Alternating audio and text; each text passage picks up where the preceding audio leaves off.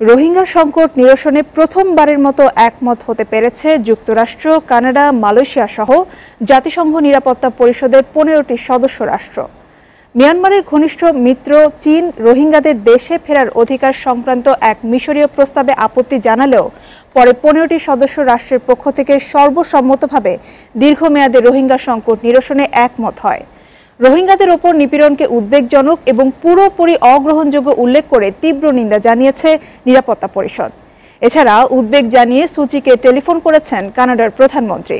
এদিকে রাখাইন রাজ্যের রোহিঙ্গা অধ্যুষিত একশো ছিয়াত্তরটি গ্রাম এখন জনশূন্য বলে জানিয়েছে খোদ মিয়ানমারের প্রেসিডেন্টের দপ্তর। মহসিন কবিরের ডেস্ক রিপোর্ট।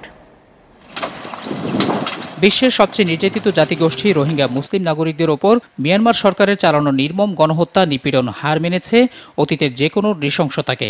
কেবল হত্যা, নির্যাতন, ঘরবাড়ি জ্বালিয়ে দেয়া কিংবা নারীদের ধর্ষণই নয়, মিয়ানমার বাহিনীর নিষ্ঠুরতা সমানভাবে চলছে রোহিঙ্গা শিশুদের উপরও গেল কয়েক সপ্তাহ জাতিগত নিপীড়নে রাখাইন রাজ্যের রোহিঙ্গা অধ্যুষিত একশো ছিয়াত্তরটি গ্রাম এখন জনশূন্য।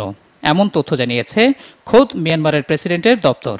যদিও বাস্তব চিত্র এর চেয়ে আরও ভয়াবহ।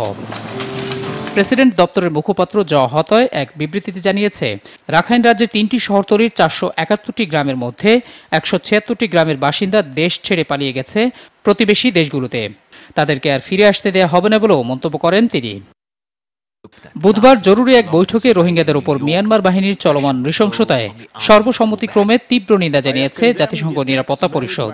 এর আগে জাতিসংঘ মহাসচিব রোহিঙ্গাদের বিরুদ্ধে নেয়া মিয়ানমার সরকারের নেয়া পদক্ষেপকে কার্যত জাতিগত নির্মূল বলেও মন্তব্য করেন। রোহিঙ্গাদের উপর মিয়ানমার সেনাদের নিপীড়ন কার্যত জাতিগত নির্মূলের সমান অপরাধ।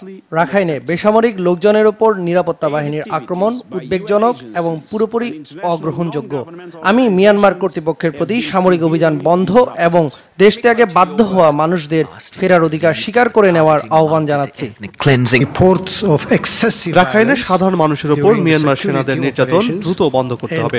সেই সঙ্গে রোহিঙ্গাদের নাগরিক অধিকার নিশ্চিত করা এবং আইনি শাসন প্রতিষ্ঠার মাধ্যমে তাদের স্বাভাবিক জীবনযাপনে নিয়ে আসতে হবে।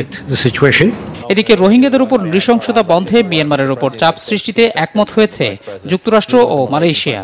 হোয়াইট হাউসে যুক্তরাষ্ট্রের প্রেসিডেন্ট ডোনাল্ড ট্রাম্প ও মালয়েশিয়ার প্রধানমন্ত্রী দাতক সেরি নাজিব রাজাকের মধ্যে বৈঠক শেষে এক যৌথ বিবৃতিতে দুদেশ সহিংসতা বন্ধের পাশাপাশি দ্রুত মানবিক সহায়তা নিশ্চিত করতে মিয়ানমার সরকারের প্রতি আহ্বান জানান। এছাড়া রোহিঙ্গা মুসলিমদের উপর সহিংসতায় গভীর উদ্বেগ জানিয়েছেন কানাডার প্রধানমন্ত্রী জাস্টিন ট্রুডো। মঙ্গলবার অংসান সুচিকে ফোন করে তিনি এই উদ্বেগ জানান। পাশাপাশি রোহিঙ্গা সংকটে সুচিকে নৈতিকতার কথাও মনে করিয়ে দেন Trudeau. Mohsin Kabir SATV news desk